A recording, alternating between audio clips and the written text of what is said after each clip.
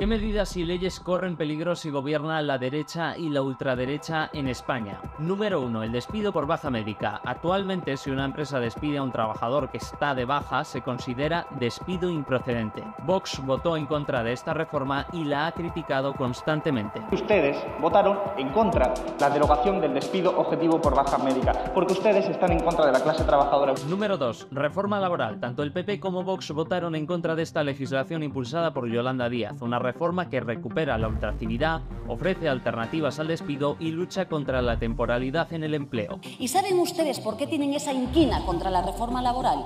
Porque va contra su programa oculto contra los trabajadores y trabajadoras de nuestro país. Número 3. El salario mínimo interprofesional. El gobierno ha incrementado el SMI hasta los 1.080 euros. Desde Vox quieren eliminarlo. El salario mínimo es un fracaso.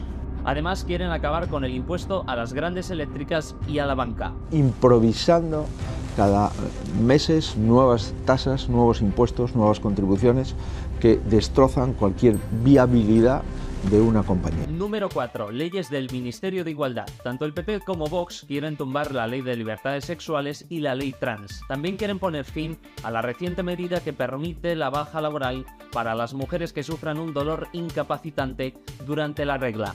Después de esta chapuza legal de la ley del solo sí es sí, estamos con otra chapuza legal, la ley trans. Número 5. Ley de eutanasia. Los populares y la ultraderecha han arremetido contra esta norma impulsada por colectivos y asociaciones que defienden la muerte digna. Para el Partido Socialista, el, la eutanasia es una política de, de, recortes. A estas medidas hay que añadir la ley de memoria democrática, la ley de cambio climático o la ley de vivienda, que permite topar los precios de los alquileres. El PP ya ha dicho que no la va a aplicar donde gobierne.